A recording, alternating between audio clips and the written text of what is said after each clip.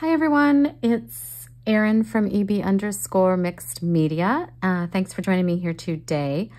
So I am on a mission to go through my stash and pull out things that I made ages ago and try to actually use them. And a lot of it are pre-made assemblages. I have so much trouble with that word.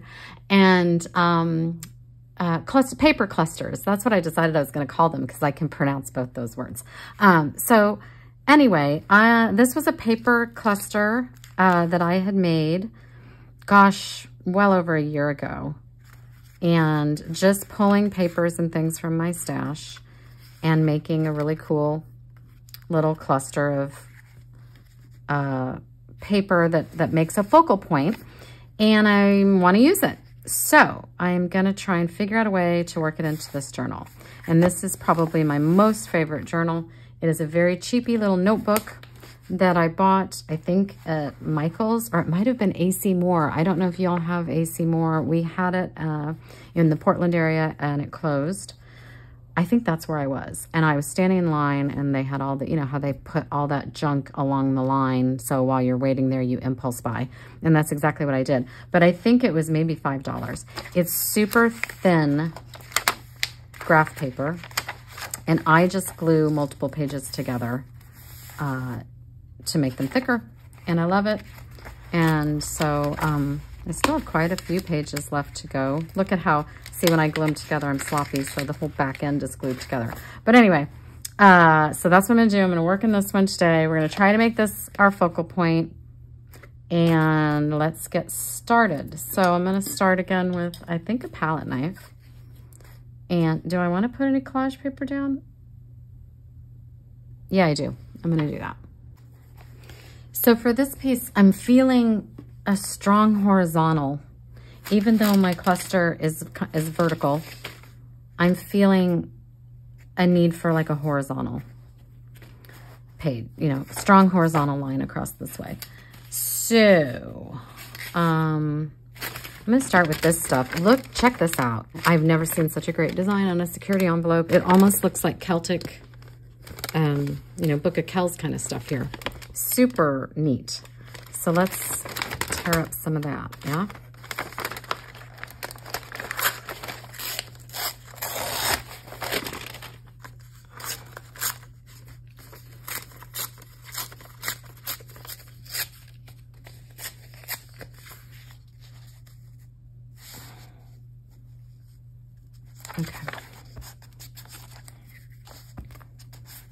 And I'm just going to use glue stick. You could use um, matte medium or gel medium or something like that if you wanted to. I'm not going right smack in the middle of the page. I'm going down so it's not uh, totally centered. This is some fun math paper with lots of equations on it, which is fun. Numbers.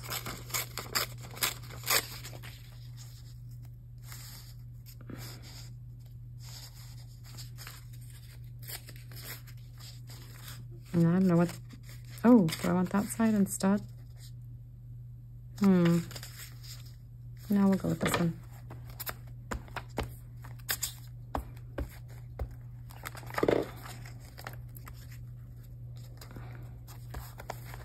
down in there. Okay, let's see what else, what else, what else do I have? I thought this chain would be fun. This is from a stamp I made, but I thought that's a very strong line there on a book page.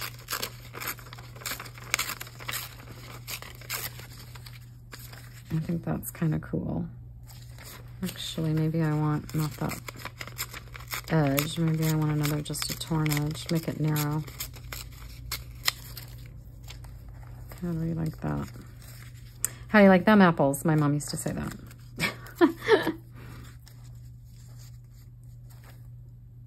All right.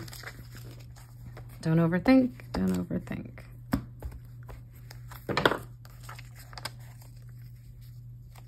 Don't overthink.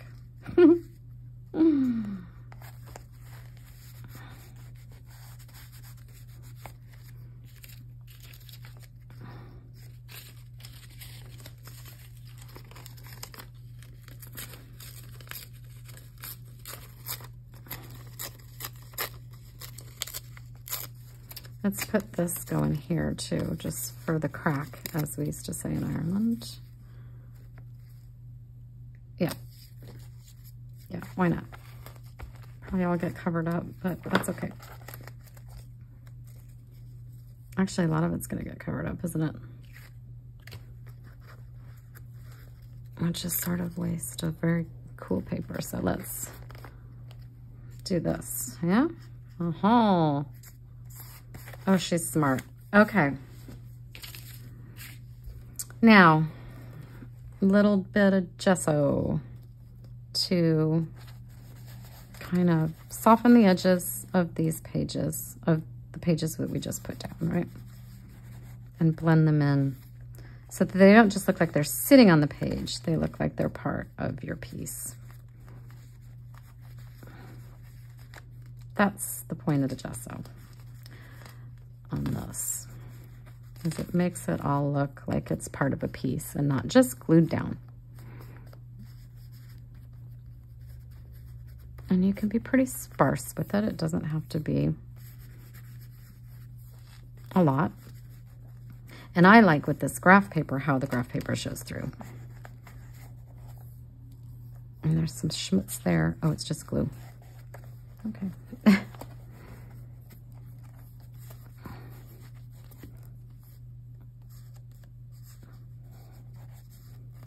yep. I think I want something else here. What do I want? What do I want? What do I want? Oh, yeah, where's that piece? I had another piece somewhere. Is this, do you, how much time do you spend doing this? And you never, ever, ever find it. And then there it is, you know, like two seconds later, it suddenly appears where it absolutely was not before. So yeah, probably two thirds of my time is where did that piece go? But I just had it. Is it on the floor? No. Is it under my book? No. It's And then it's just sitting there right in front of your face. It's always right in front of your face. Now, I'm making a mess of this, but that's okay.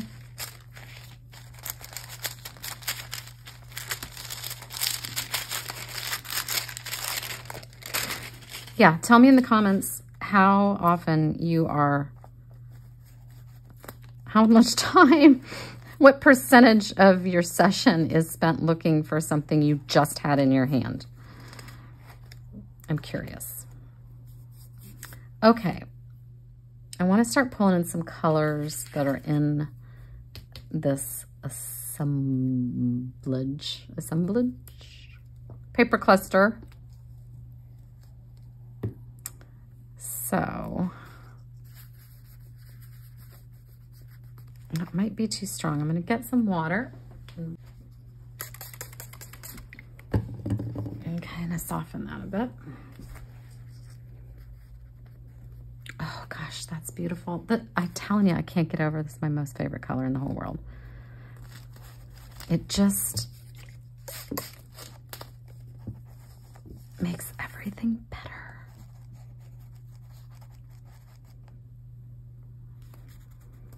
Somehow something that was eh, becomes magical. I think as it kind of glows maybe and I don't know. Put a little more weight here, a little darker at the bottom, give some weight maybe. Yeah. All right.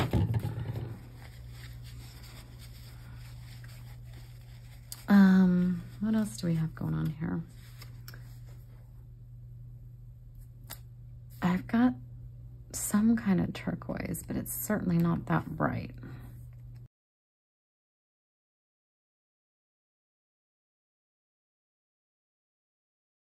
I don't know, that almost looks too green now.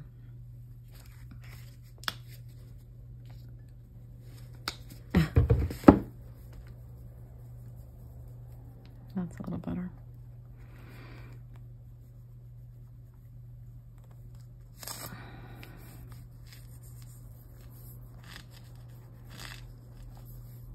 I And of course, any blue you put in on top of this gold is going to be green. It just is. It's going to turn green. I like how that's going. I need some navy. So I said I needed navy. What I've got here is my Prussian blue hue, which is a beautiful color. This is golden fluid acrylic. It's not the high flow like these, but it's um, more fluid, definitely, as you can see. All right, I don't want that full strength, but because you can see, isn't that strong and pretty?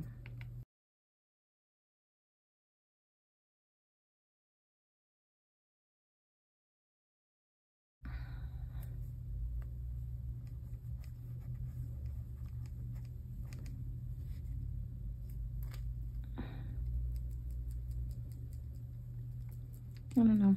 Just keep mixing until I get something that I like.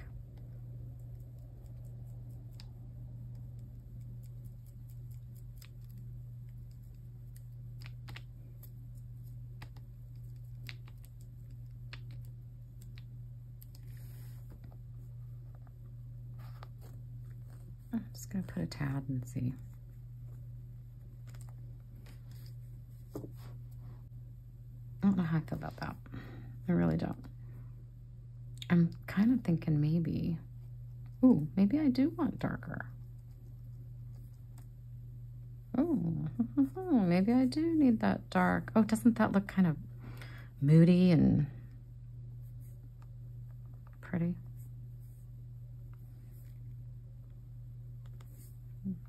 Almost like a storm cloud gathering or something.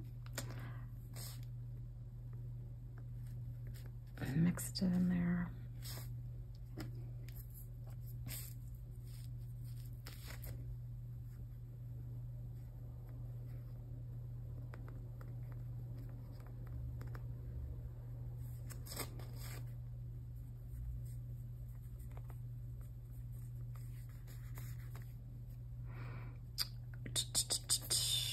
Maybe a little more. I know I said I liked that, but now I'm covering it up. No, I'm going to put it back in. I just wanted a little more white.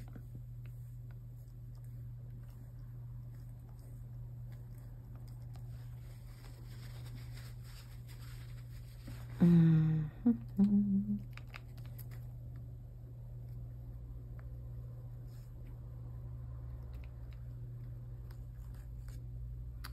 little dab here and there.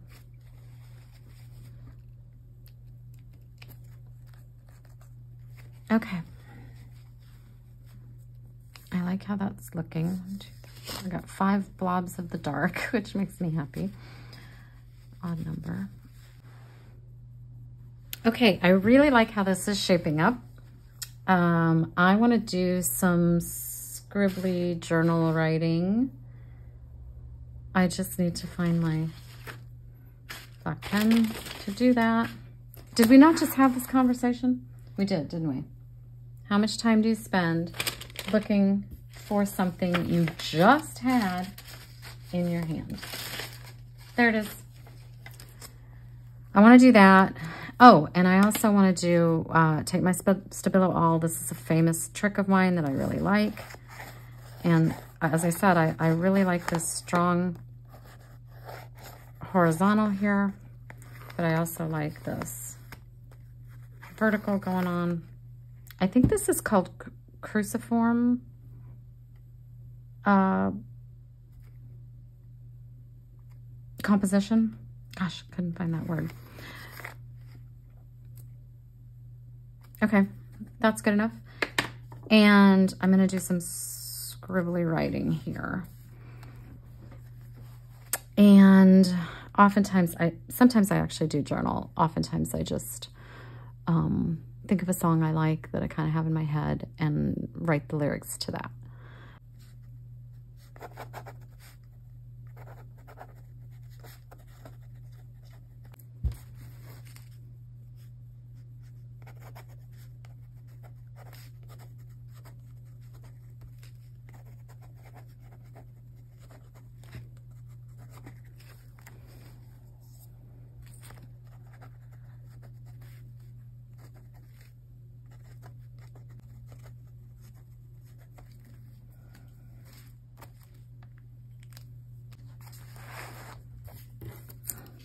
All right, I think I'm ready for my assemblage.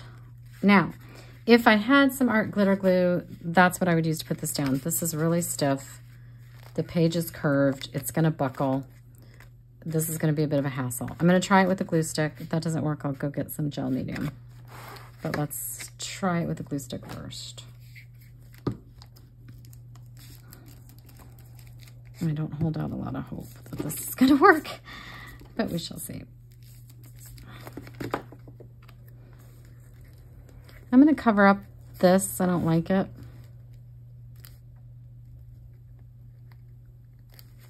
Yeah, I think I'm going to go all the way over there. And I'm going to get my tissue paper and I'm just going to smash this down and I'm going to hold it and we'll see if it's enough. I'm happy with this, but I feel like I want some splatters. So I'm gonna go grab my black and do that.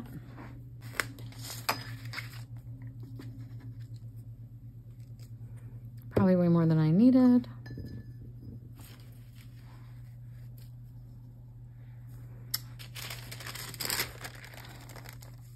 don't know if I want splatters on my, I feel like I kind of only want it.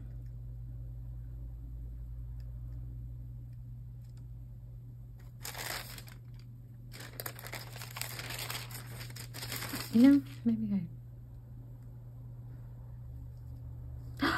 Ah, oh, shoot. Did that just happen? I'll see if I can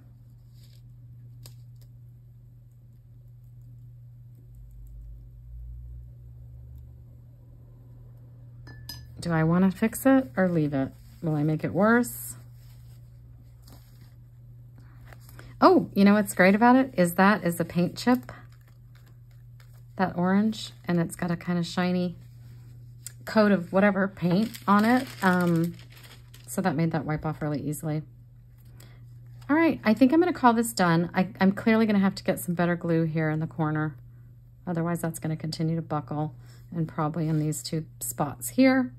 But otherwise, um, I think it's finished and I like how it turned out. And I'm so pleased that I got to take this uh, paper cluster, this assemblage that I've had in my stash for ages and really liked, um, and incorporate it into a journal page. So thanks for joining me today. Uh, hope to see you back here soon. You can also find me at eb underscore mixed media on Instagram. Have a great day, everyone. Bye.